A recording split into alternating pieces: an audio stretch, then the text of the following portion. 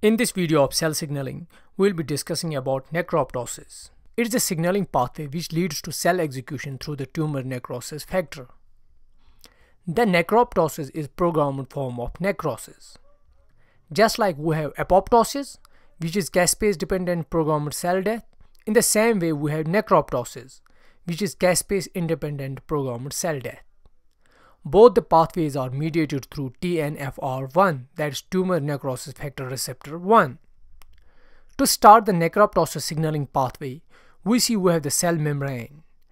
And in the cell membrane, we have the TNF receptors in the form of monomers distributed over the plasma membrane as shown in the diagram.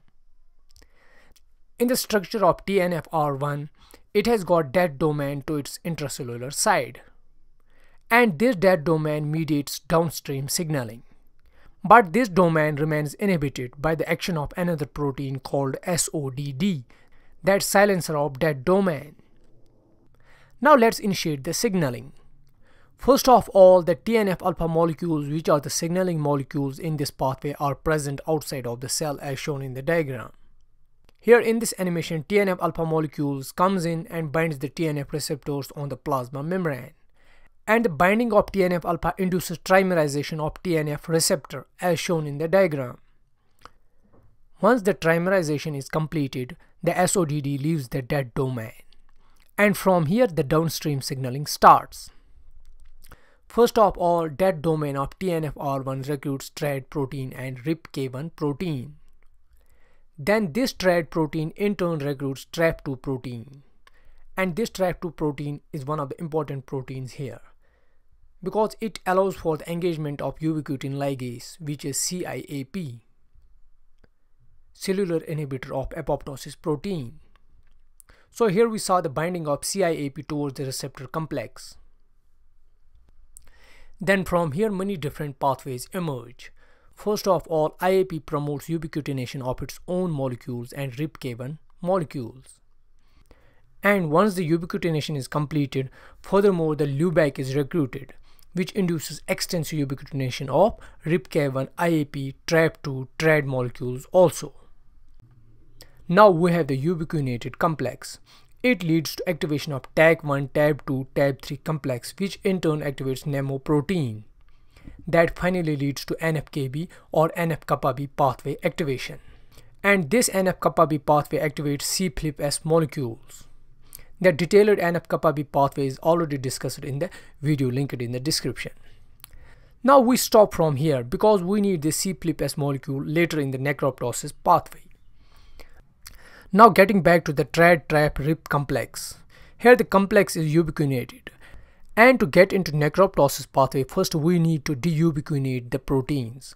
And it's done by CYLD molecule. So from this process we get the deubiquitinated RIPK1 protein which further recruits FADD as shown in the diagram. In the next step the FADD RIPK1 complex recruits caspase 8 molecule. It can lead to apoptosis from here if caspase remains as such.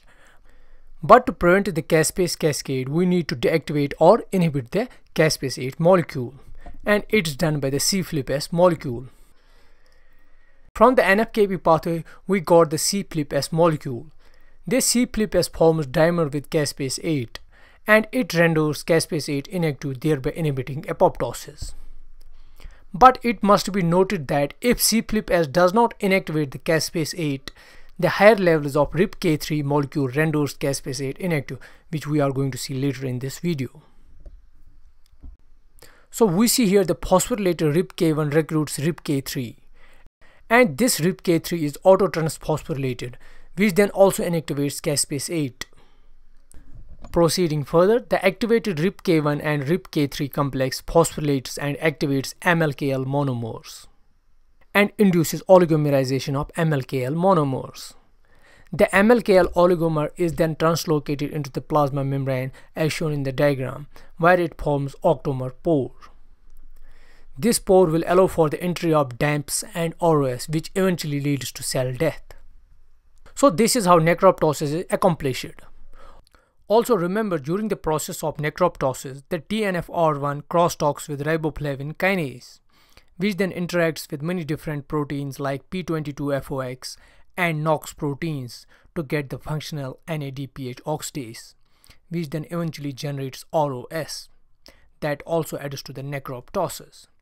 So this concludes the necroptosis signaling pathway. I hope you like the video. If you like it, give it a thumbs up. Do consider supporting my work on Patreon and also make sure to subscribe to this channel. Thanks.